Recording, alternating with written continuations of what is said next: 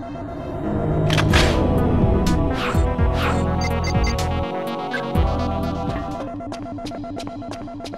you.